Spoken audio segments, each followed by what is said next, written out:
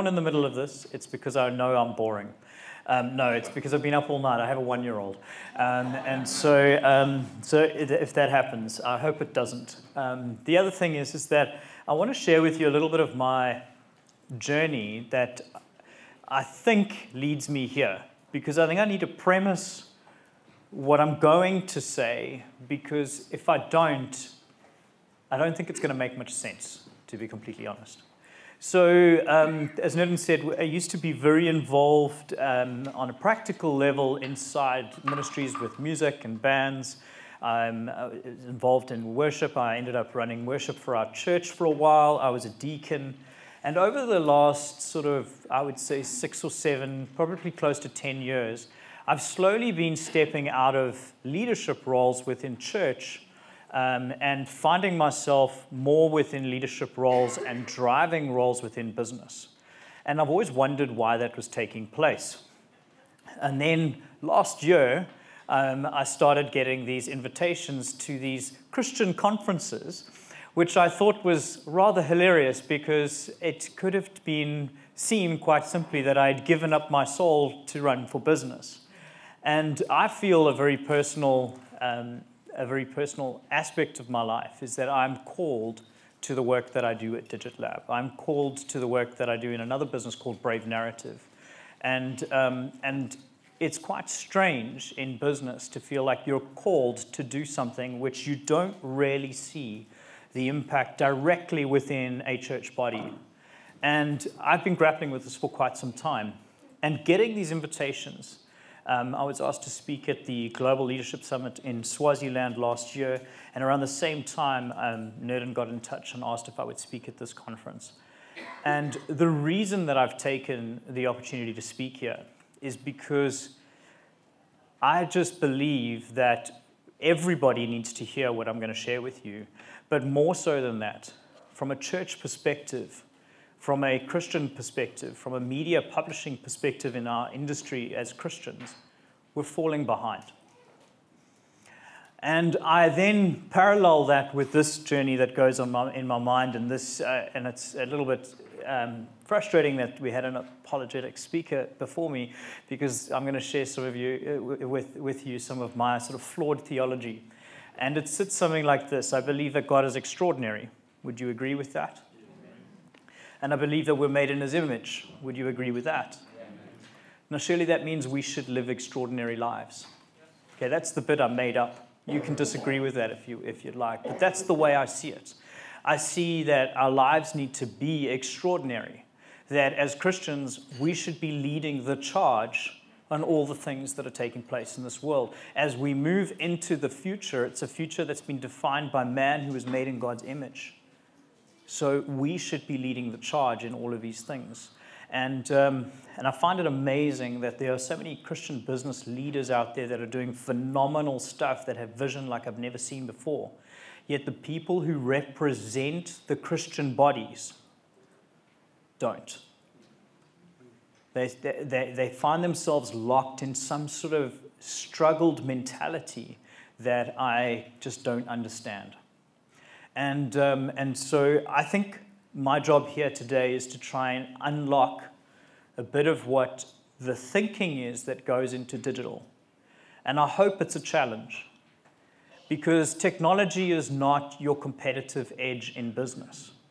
People think it is. It's not your competitive edge, it's your accelerating pedal. So if you want to take your message and get it out into the world, if you want to play a global play, if you want to impact as many lives as possible, if you want to influence people like you've never influenced them before, technology is the mechanism that you will do that at speed and at scale and at pace like you can never imagine. And that's what I'm hoping that we can unlock and we can start to think about today. So, with that as a premise, I'm then going to launch into a big business presentation, if that's okay. Um, and I want to talk about these things because they are very important to me and the way that I view the world. And it really centers around this idea that technology is about being human centric. And I will build, build into this more. If you're on Twitter or Instagram or LinkedIn or any platform, uh, you can catch me on that handle. Please do talk to me have conversations. It's the best way to get free consulting from me, just because I get bored and lonely, and I love to uh, talk to people. So um, that that will be great fun if you can.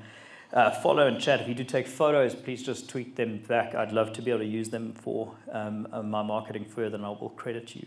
So now that that's out the way, let me tell you a story. Anybody here own a iPhone? That guy's got two hands in the air. Do you have two phones, or just you're just that excited about it? Just okay, cool. Um, is it a recent purchase? Have you just migrated to the good side? Um, how many How many people own a, an Android phone? Okay. how many people own a BlackBerry? Yeah, you, like, do you use it every day, or just just like in the museum shelf? Like, it's it's it for traveling. So that's the one you don't mind breaking. Okay, now that's cool. I understand that. Anyone else with a, with a BlackBerry? I didn't see one or two others. So let's say eight years ago, a smartphone was a BlackBerry. That's what it was. And the iPhone didn't exist. Android had just been put onto the market and they were still trying to figure things out. And what they were doing was replicating what they had seen in the BlackBerry space. What happened? Well, BlackBerry was run by two CEOs at the time.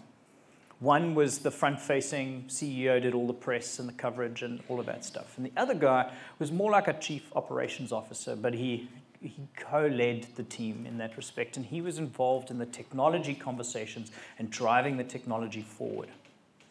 And he was convinced that the next way to improve technology from a cell phone point of view was to get the best quality audio out of your device. I don't know how many of you have been incredibly frustrated that you can't hear someone on the other end of the phone. BlackBerry hoped that they would solve that was flawed in a very big way because just share the reason we can't often hear people is because we are either in load shedding or um, having um, sort of technical difficulties with our network suppliers. But I think the thing is, is that their, their focus on technology had no hu real human benefit. Okay, there's no real human benefit to better quality audio on a cell phone. Apple, at the same time as BlackBerry are releasing the highest technology available on the planet inside a mobile phone, they're bringing out 3G because it wasn't around anymore at the time. Apple releases a 2G phone and it revolutionizes the smartphone industry. Why? Because they built an app store that let you download Facebook. It lets you customize your phone. Your iPhone looks completely different to mine. Mine stresses people out, apparently. I have so many apps I can't keep up with the downloads, all the notifications, because I love apps and I'm always testing and using and trying to figure stuff out. I'm basically like a crack cocaine addict, but with apps. And, um, and so my phone would stress people out, but it's fine for me. And your phone will look different, even though it's the same phone, because you've built it around who you are. And you can do that. And the thing is, is that what we need to understand about this is that the reason, the fundamental reason at the end of the day why Apple beat everybody in the race on smartphones is they built phones people like to use. It's that simple. The best technology is the technology people use. Not the technology that impresses people the same as whatever. Like, it doesn't matter that we're going to get the best, fastest internet speeds into our country at some point in the future, maybe if we're lucky. What matters is that we can get that out to the masses of people that they can actually use it. Because it's only then that you get the benefit of it. It's only then that you can build business models around this. It's only, only then that when people use things that we actually add value to people's lives. Okay? And so this is a very clear case example that digital is not a technology conversation. It's a people conversation. This entire game that we play is about people. The reason you want to know more about social media and mobile applications and technology is because your people have disappeared into that world and you don't know how to find them. It's a people game. It's not a technology game. And that fundamental shift is an important one to understand.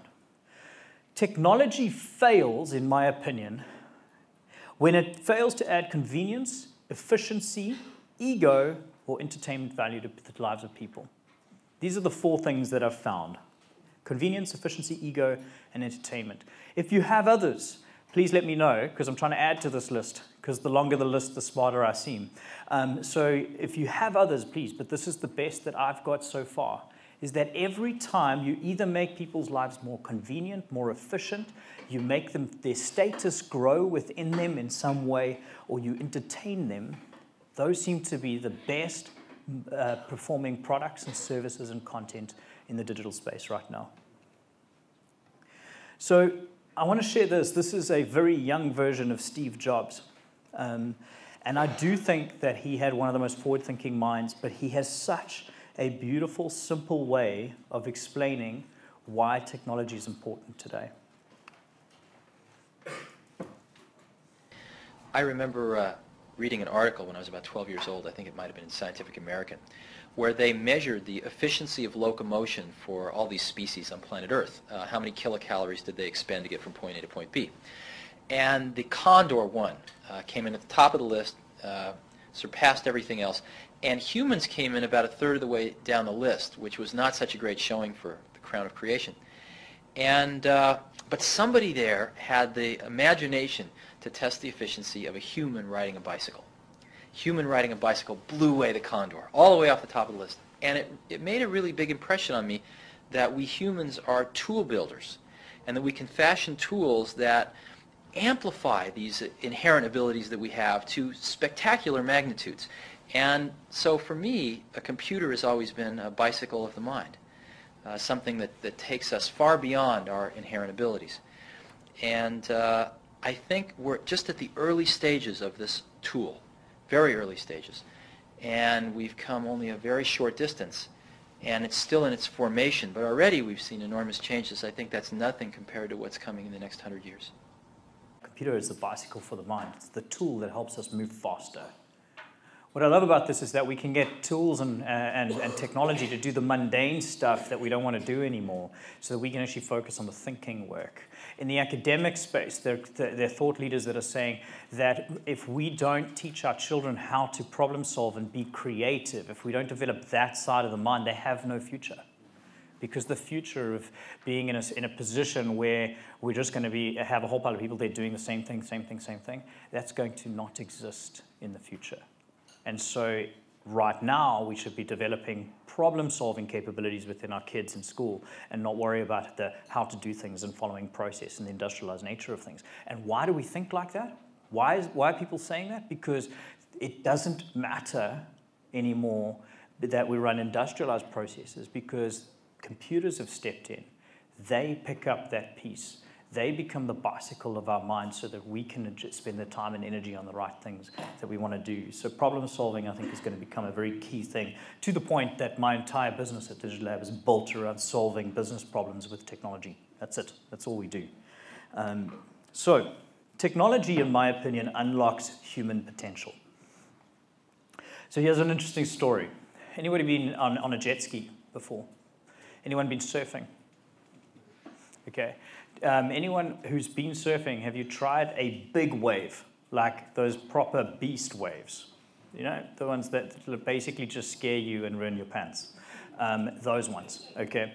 Now, the thing is, is that when they started surfing those waves, they didn't know how to get onto them, so they got jet skis to pull them up and, and basically load them onto the wave, and then they could ride the wave.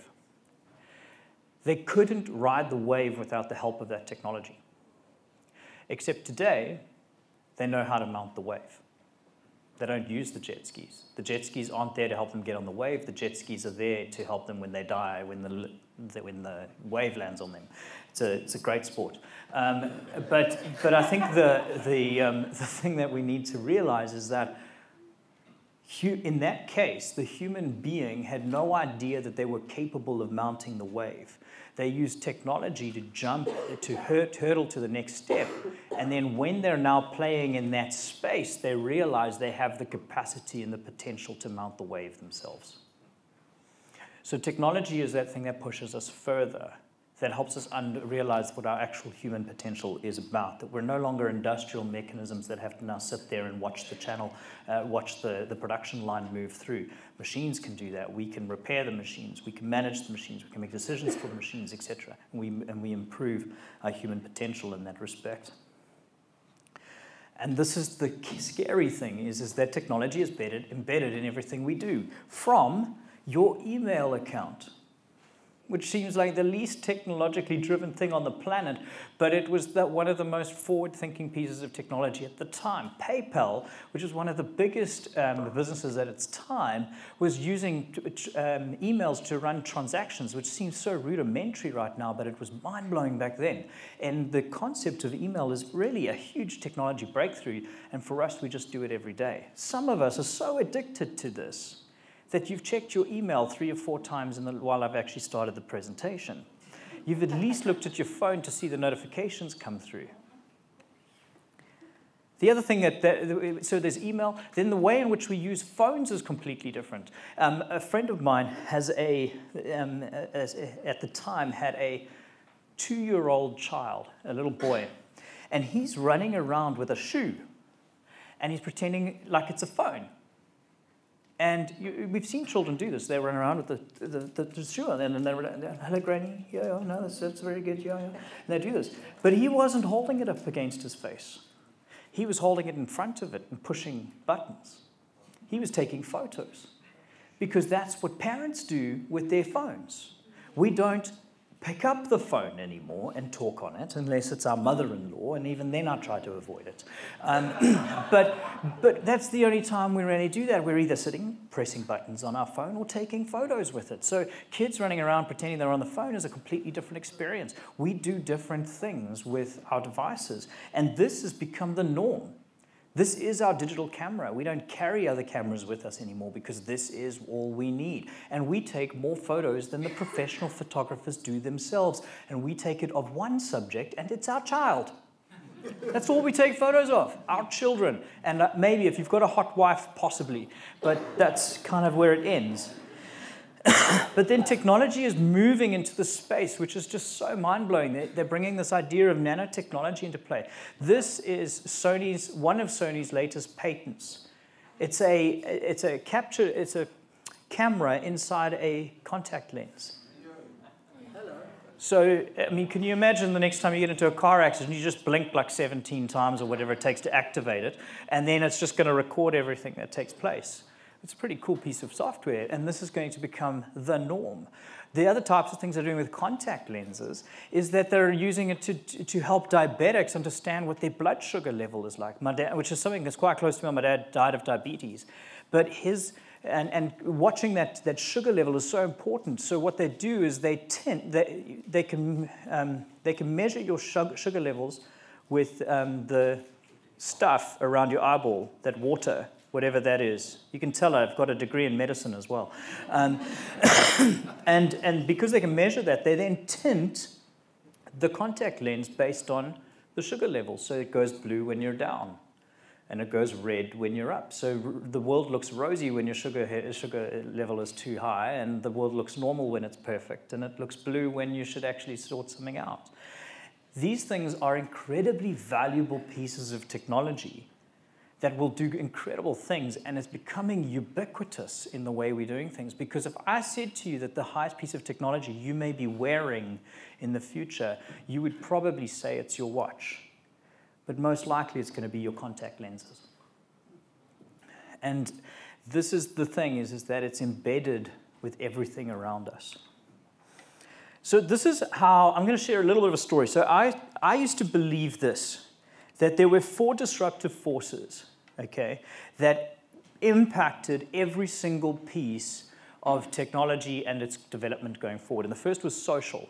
Not social media as in the platform of Facebook, but the fact that we can connect with people and build relationship online. That was that disruptive force, okay? The second one was data. Not the fact that we can collect all the stuff and put it in data warehouses, but the fact that I can use data to understand people. Okay, that was the other disruptive force. Then I used to, then we added Oh, I'm getting excited here. It's a problem. If I trip on this, please take a photo. It'll be hilarious. Um, but um, the next one is mobile. And it's, again, not about the device, but the fact that we can meet people in the context of when in which they live. So I can send you messages as you're buying my product. I can, I can put all my content reviews of the products that I'm selling online so that while you're standing in the Mr. Price store trying to work out if that's the best jacket to buy right now, you can do the full um, uh, product evaluation in the store. They've even got chairs that you can sit on that allow you to be relaxed while you go and search competitive products. I've done this. I walked into Exclusive Books the one day and, uh, and I found a book that I liked. Exclusive Books sold me a book except I didn't buy it from them. I scanned the ISBN number, found it cheaper on Kindle, downloaded it onto my Kindle, went next door to Fago, sat down and had a cup of coffee and bought my, and read my new book. Fago made more money off me that day than an exclusive books who put all the energy in, in the retail space, in the marketing and everything to get me into that store. And so the context in which we connect with people is different, and that's what mobile speaks to. Cloud is this concept that all the data and everything we're doing is no longer sitting on physical stuff, but it's now sitting in the cloud. Okay, the simplest way to, do, to explain that is that it's a server with everything that was on the ground that's now sitting on the ground somewhere else, but it's backed up 1,700 times. So it essentially is virtually in the cloud, and it will never disappear. Okay, so that's what the cloud is. And the beauty of the cloud is, is that it allows us to deploy and think and move quicker than we've ever done before. In 16 days, Elon Musk received a tweet that said, it's terrible that your Tesla vehicles can't use the petrol stations with the charging stations that you've got because people charge their cars and go and sit in the coffee shop for an hour next door. And they leave their car on the charging panel, and so we can't get all the cars through. And that was a tweet that went out. Someone said, hey, you, you should probably look at this problem. Within 16 days, they sat down as an executive, came up with a solution, issued it through their cloud platform, dro dropped it down to every single one of their, um, their um, charging stations, reprogrammed the software that for every minute your car was on the platform after it was char fully charged, you got charged more. 16 days to roll out, re strategize, reprogram every single charging station across the globe. It's mind blowing. That's what cloud brings to the table. And I used to think it was these four, and then this e-commerce thing came into play. And I liked four because that was simple, and I used to speak at presentations, it'd be like, simple, it's nice, it's four. And then this e-commerce thing started eating at us, and we started realizing that's another disruptive force. And then we found that the Internet of Things was another disruptive force. So if you think about the fact that you can connect with all these people online, the Internet of Things just says that you can connect with things now online. I can talk to that computer. I can use Twitter to, to, speak to automated bots. I can do all of these different things. I'm not speaking to a human being, I'm speaking to a machine. And they're creating all of this stuff. So now that's a whole new thing that we now need to consider. And it's another disruptive force. And now my whole framework that I literally lived by is now being destroyed slowly. And then they threw blockchain into that as well. And I was, thanks, guys, this is completely messing me up. And blockchain, does anybody understand what blockchain is? Okay, just blockchain sits on this idea of a distributed ledger. And so it works like this. Can, can I ask you just to lend me your phone? Okay, so for the sake of it, I'm going to say he's given me this phone. You've all, someone's phoning you. No, it's fine. Are you sure? No, no, it's fine. You know, I, I can, I can answer it for you. You know, okay. Just told me unavailable. That's, that's cool. Um, Mom? Yeah. Um, sorry, sorry. So what ends up happening is, is that You've now given me this phone.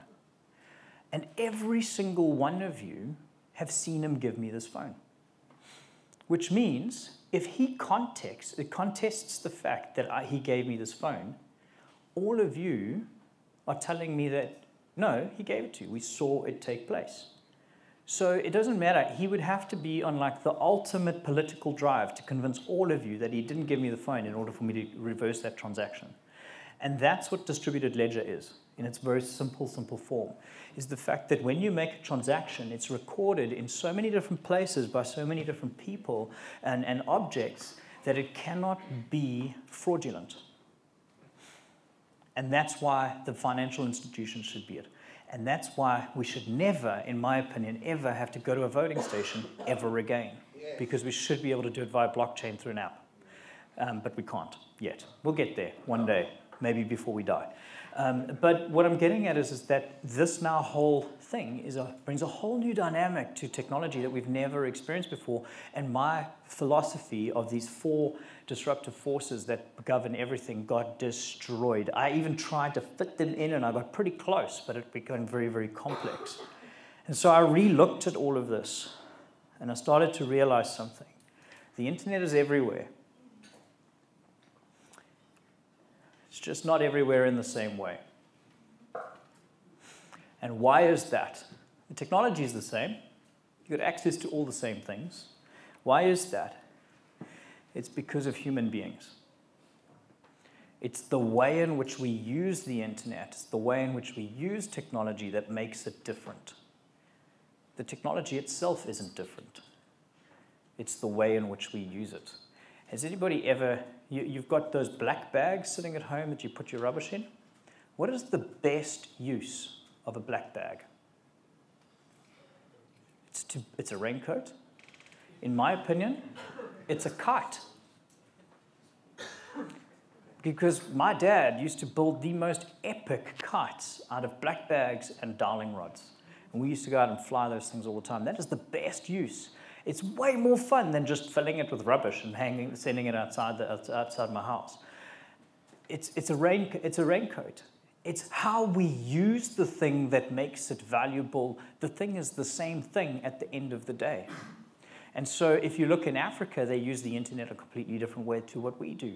If you look in South Africa, at different pockets of South Africa, they use the internet completely differently. Their view of the internet is completely different. Some people only ever see the internet through a dumb phone.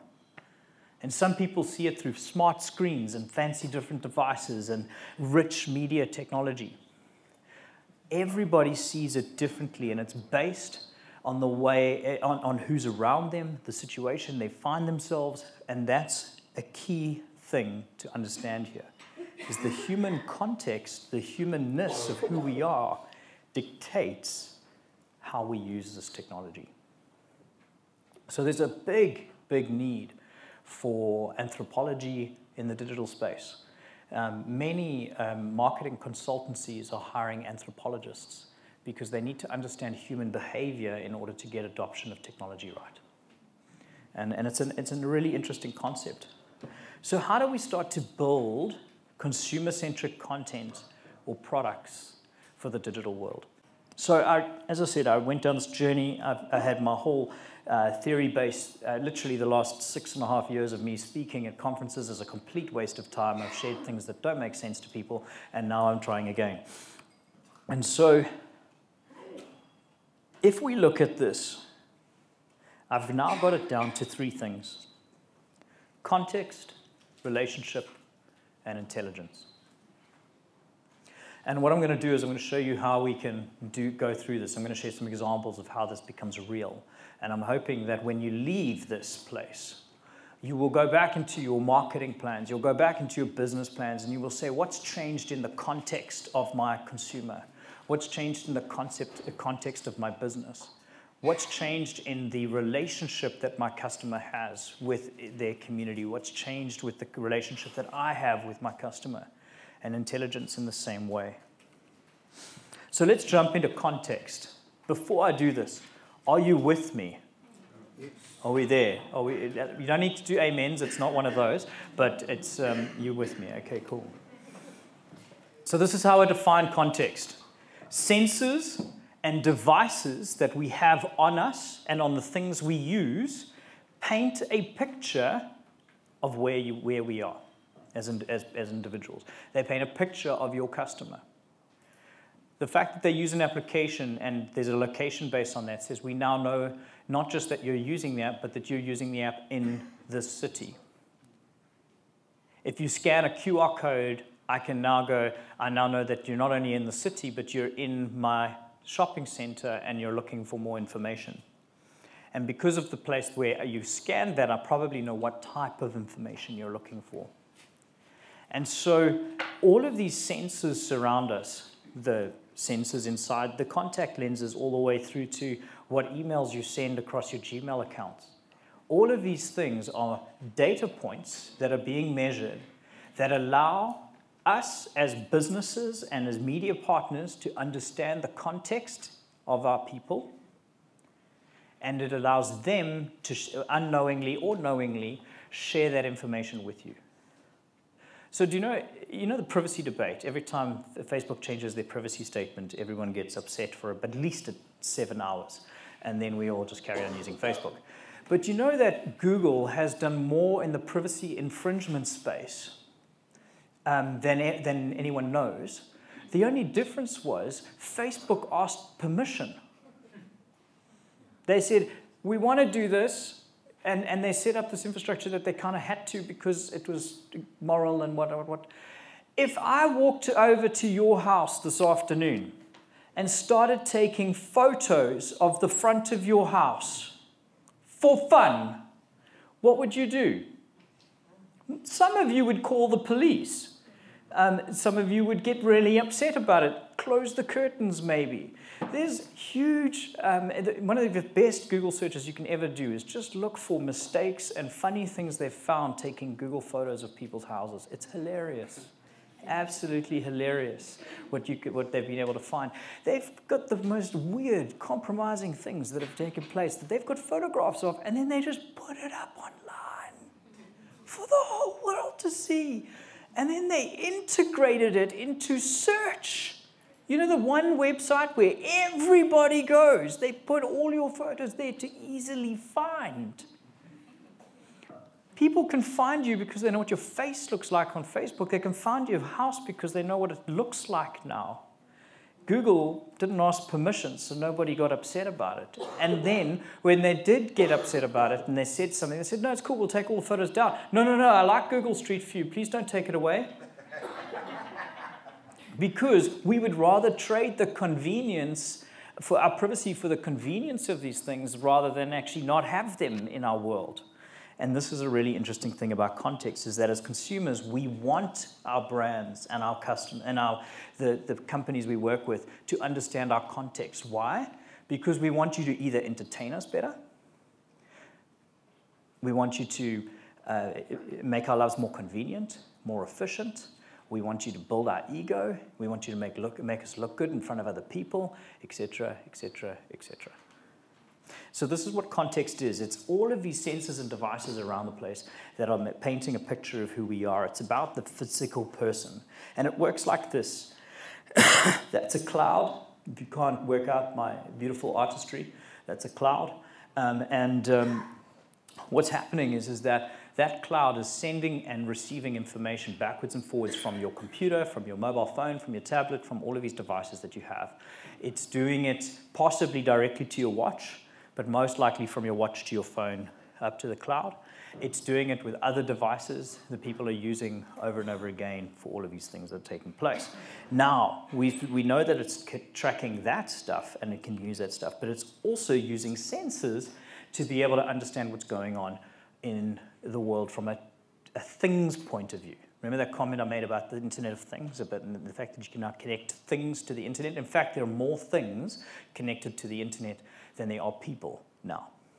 Okay, the, the, the, the big challenge here is, is that historically all the data on the internet was put there by a human being, which meant you had to sit down and actually do it, which took time and energy, and it's, an, and it's a finite resource. Now you've got machines sending information every split second um, to, to servers all the time. And so uh, the, the amount of information that's on the internet is very close to support, uh, for that have been put there by machines is very close to surpassing the amount of information that have been put there by human beings. Okay?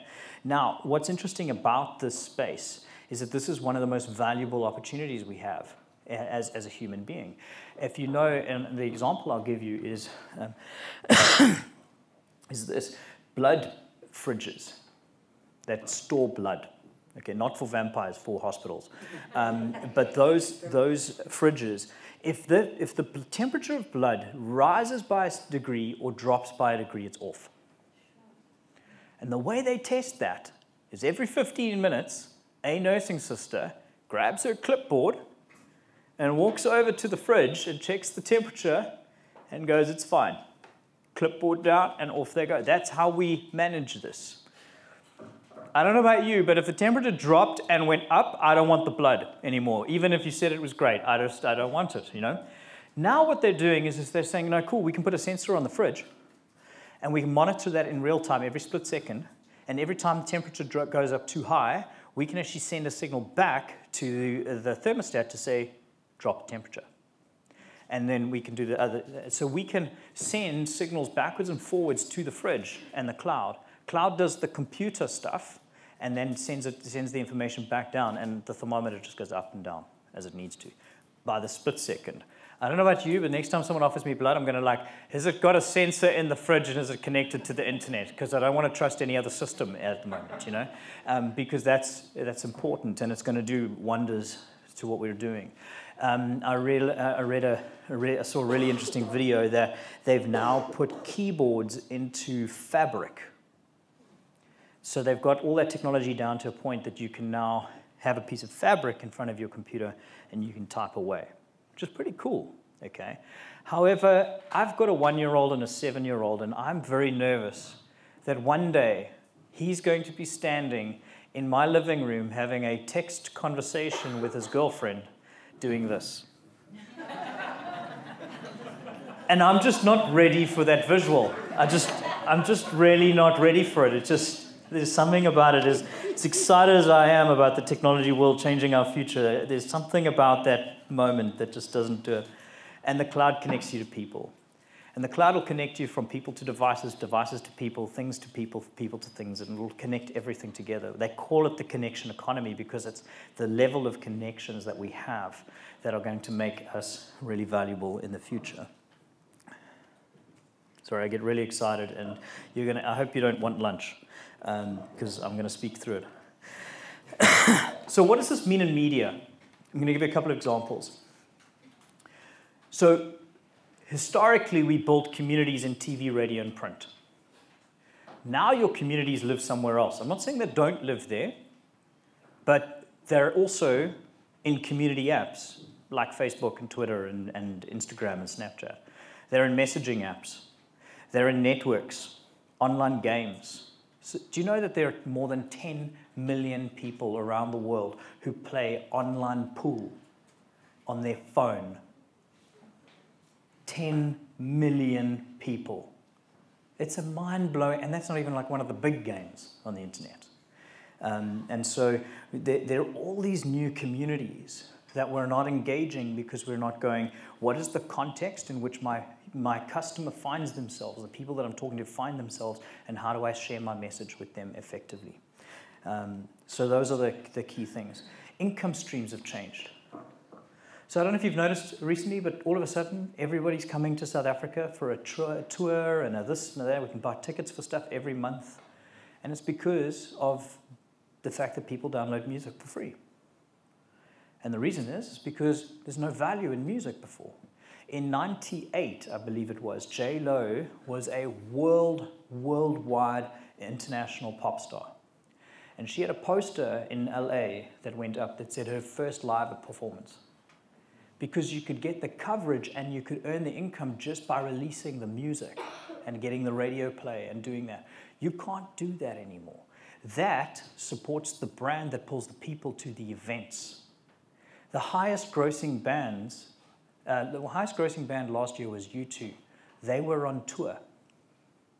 And what, what album were they playing? They literally went and replayed the Joshua Tree album from beginning to end.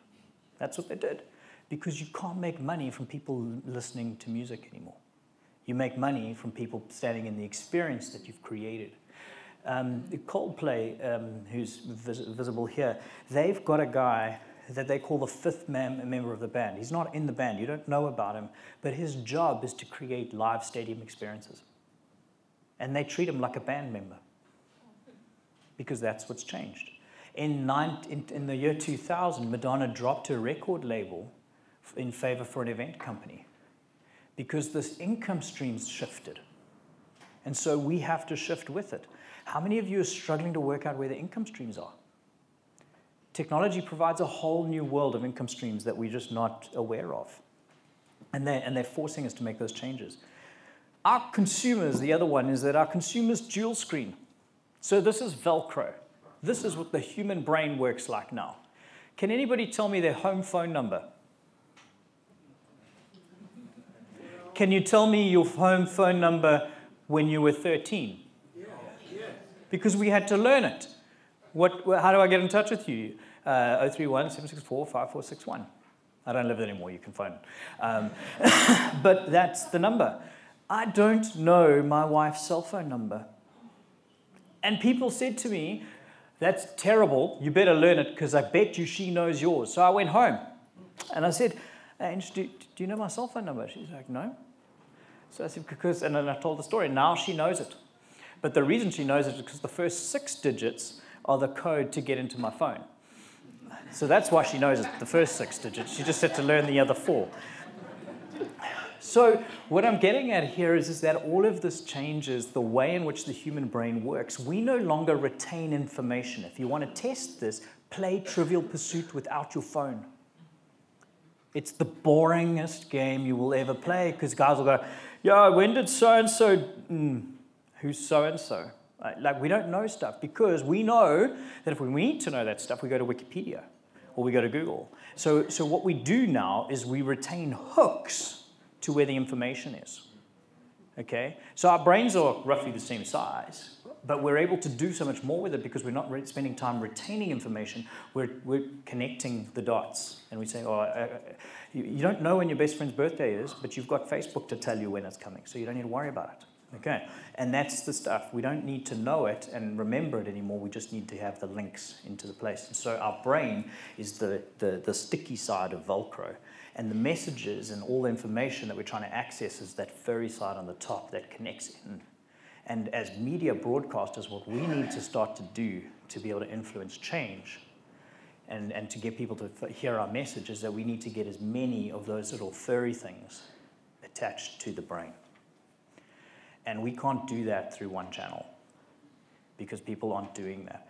And then just think of it like this that's not even a very strong little hook on their brain because they're not even focused on what you're saying because they're busy on their phone while they're doing it, they're driving while they're listening to your radio station, they're uh, reading up on, they're, they're on social media while they're watching your TV program, they're, they're doing other stuff. So that's the flimsiest hook you've ever tried to. Have you ever tried to play that game in the arcade center where you had to find the bear and like pull it? That's what you're playing with in a person's brain now because we've got so many things to be able to connect with in the way in which humans are adapting for this reason. The other thing is that your distribution channels have moved. The way in which you've got your stuff in front of people is different. They access online stores, podcasts, YouTube, subscription media services, app stores, torrents. Torrents are one of the biggest download pieces on the planet at the moment. And that's where they're going to get all of your media or your competitors' media or something. But they're not coming through the channels that you wish they would come to. So rethink your distribution strategies because their context has changed. I have got very excited, so I'm going to move through these next two. But this next one's about relationship. And it's the relationship that you have and the network you find yourself into. So technology connects us to more networks of people.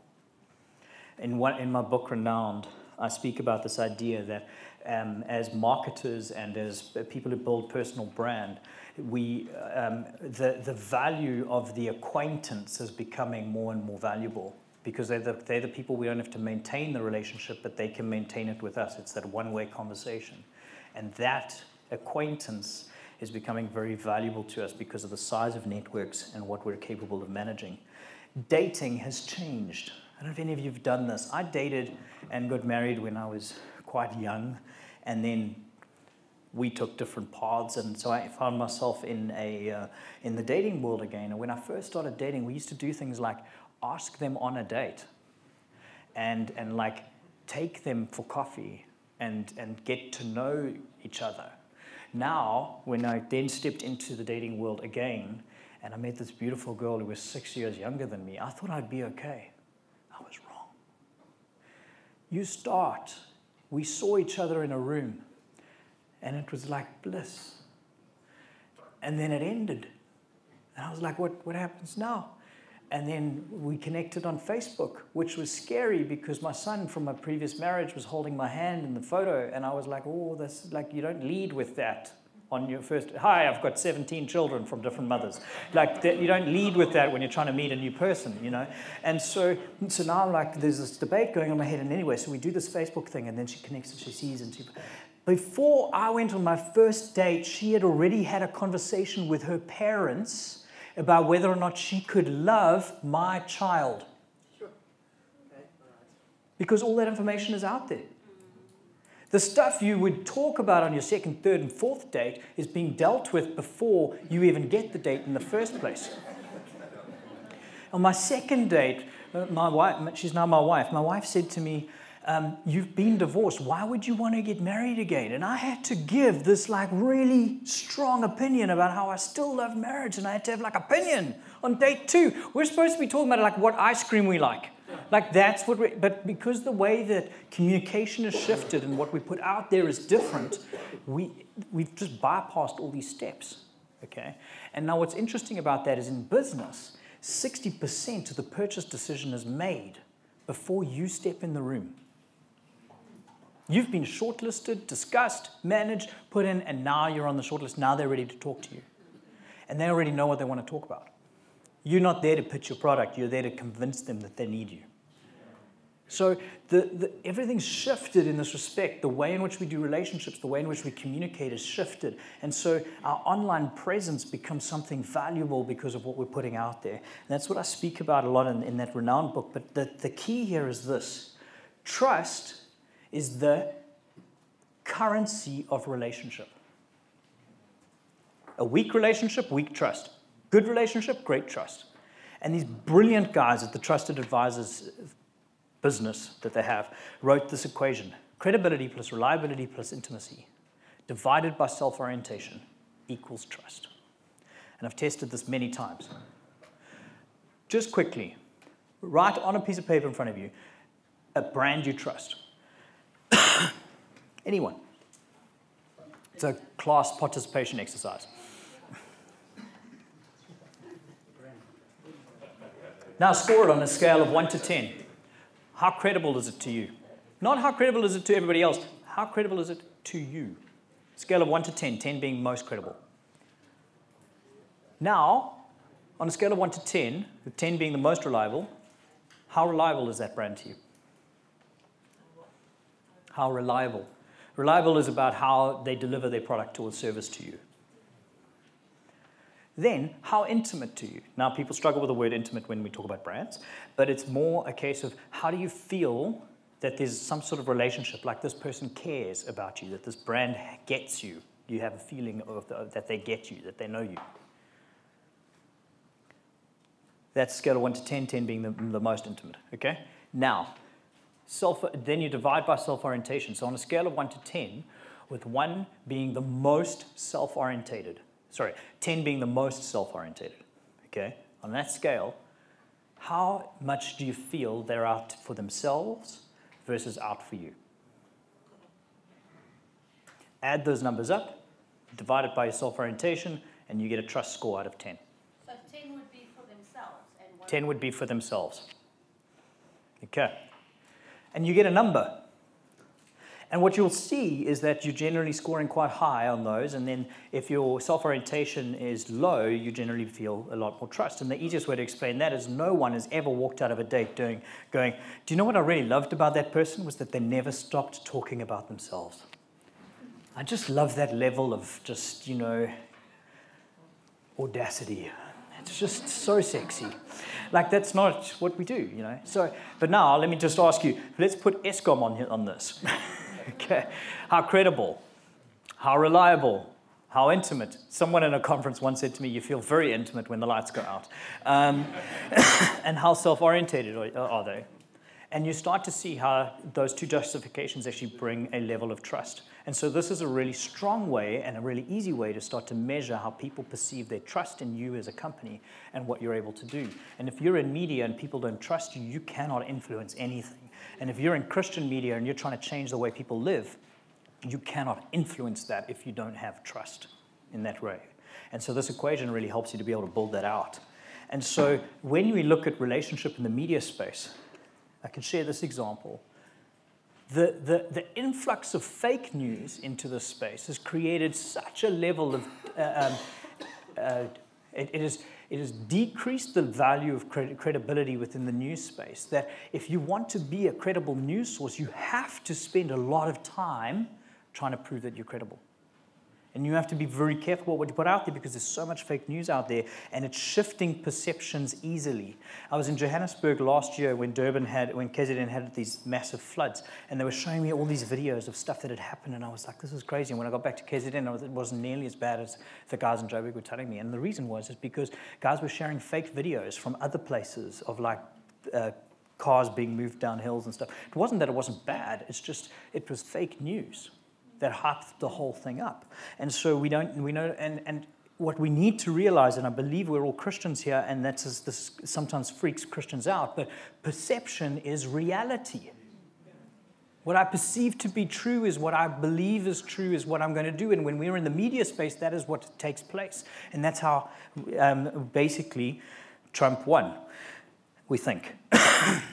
By the way, it's really interesting. There's a case study on Trump versus Clinton on that trust equation. If you interest, if that equation interested you, go and read it because theoretically, if, according to that equation, Trump establishes more trust with his with his uh, user base than Clinton did because he was way more intimate which is a bit dodge, but anyway.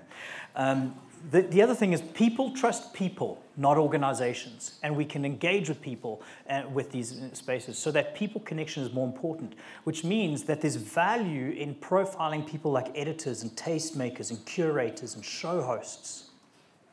The social media presence and size and ability to affect the change and influence of their audience is important when you're in broadcasting because this is a key. But we need to be able to bring this into magazines, into um, all the stuff we used to do to make great content, bringing people in from all over the place. That stuff works here because those people build your brand.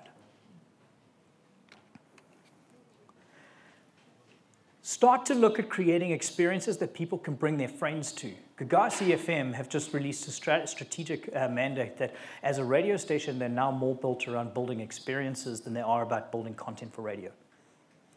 And if you look at all the great radio stations that are doing great things at the moment, they're more focused on what they're doing out in the community than they are about the content that's actually happening on their radio station.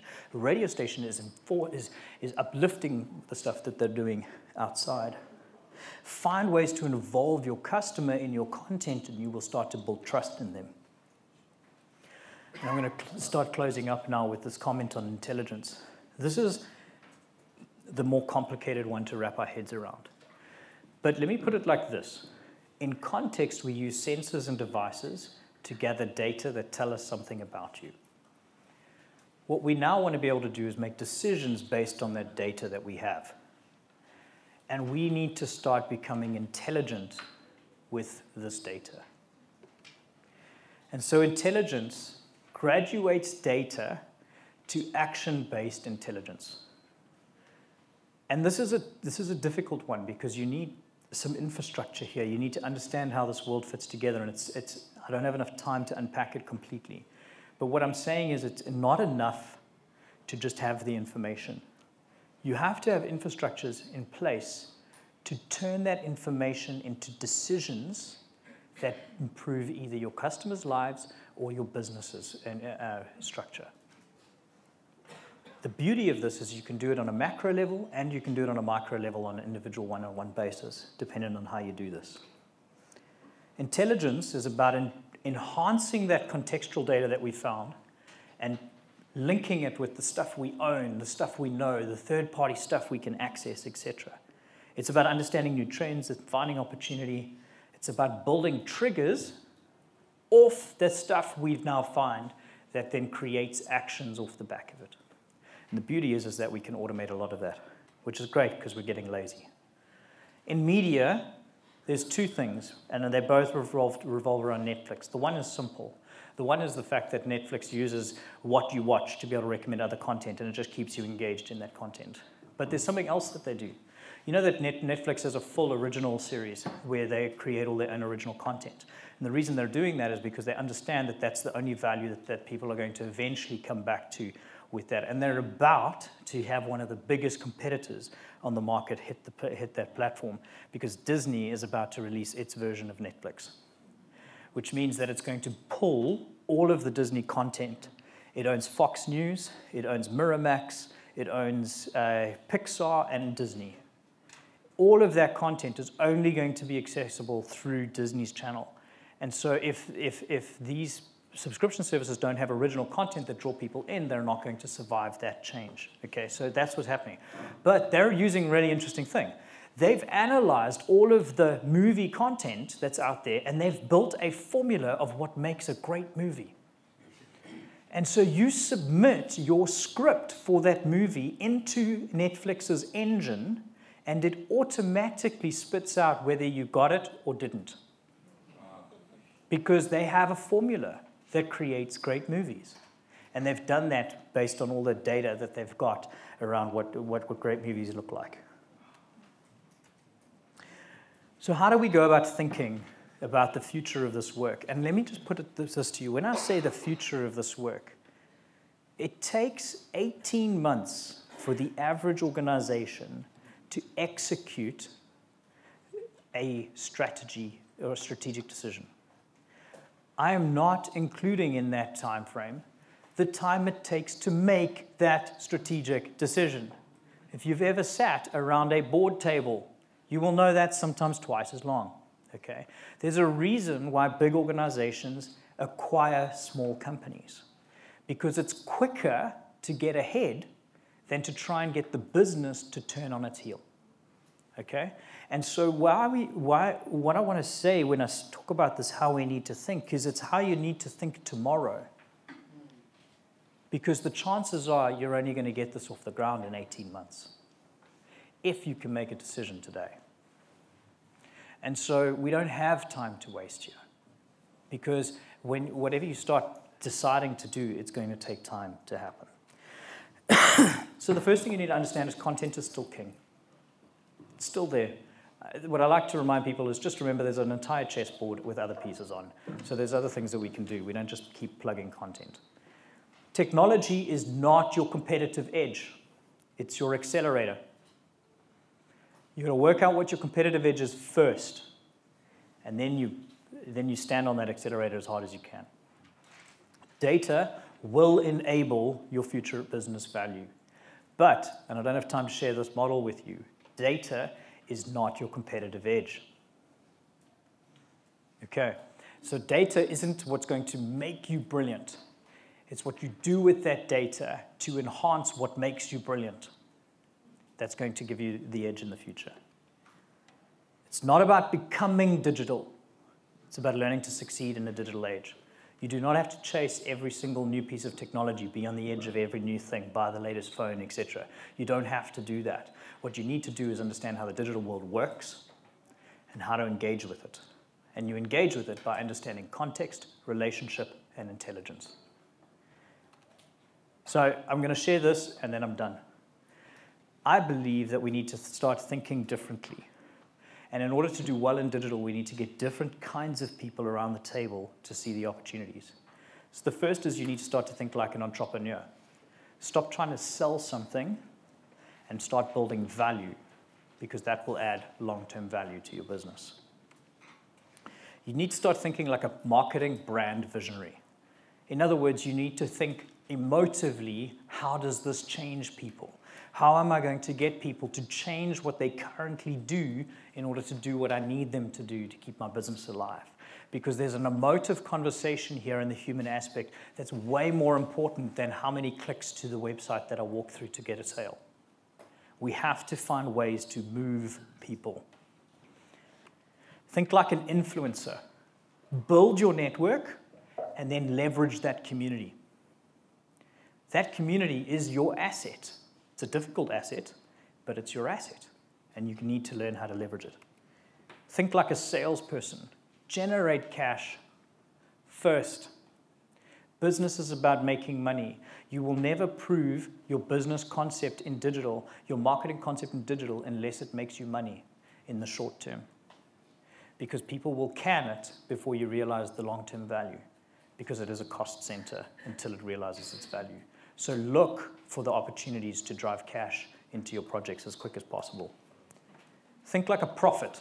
A little bit different to the to the word profit that we normally use, but think about this. Small teams move faster. Big teams break down uh, big ideas. You, small teams are really good at executing on big ideas. And one of the reasons is because there's a leader in that team that is really good at, at, at passing on the vision of that team and keeping people focused and passionate about what they're doing. And so think like a prophet. Think like an API. An API, very simply, is like a little translator. It's a little black box that sits between one set of code and another set of code. And all it does is it translates information and allows company A to access the information that company B lets it access, and vice versa. In other words, we're making sharing easy. And so when, when you think like an API, you need to build business models that protect your core and interface with everything else and share as much as possible on everything else, but protect your core. And then finally, think like a rebel. Chart your own course. There's a beautiful study that's going on at the moment with some consultants where they're going against the idea of best practice. When you study management and marketing and consulting and all of these things, they teach you what is the best practice, what's been done before, how do we make this work, what's going to definitely happen. What's the problem with doing best practice? Anyone? Everybody does it. So we're just doing it like everybody else did it. You're not going to stand out. You're not going to break through. You're not going to stand, out and, and, and do something that's different and new and exciting for your customers, which means they're going to be bored, which means you're going to be a commodity, which means once you're a commodity, what's the only thing you can do? Cut your price. And we can't play a price game, not in this economy. Can't play a price game because we're running out of margin. So we have to find other ways of being able to make this work. Think like a rebel, chart your own course, find your own way to what you're looking for to do. So finally, last slide, I promise. Newton's checking me out. He's like, You're done, like 10 minutes ago. Make your voice heard in a digital world means meeting them in their context, building trust and relationship, unlocking intelligence to provide a more convenient and useful tools for, and communications for your customers. I've got two books that I've written in the back. One's on my entrepreneurial journey, the five year mark, and the other one is um, it talks a lot about this thinking, but specifically applied into how to build relationship and a platform to build your businesses off of, um, called Renowned. It's about online personal branding. You can get them at the back. They're normally 250 in, in store. Um, you can buy both at 400 on that note, it's a little marketing plug, you can get in touch with me. Please do. Best way is through social media, not email. I'm just shocking on email. Um, but you're welcome to email me. You will get a response, but it might be in about three weeks' time. Um, but thank you. You guys have been fantastic.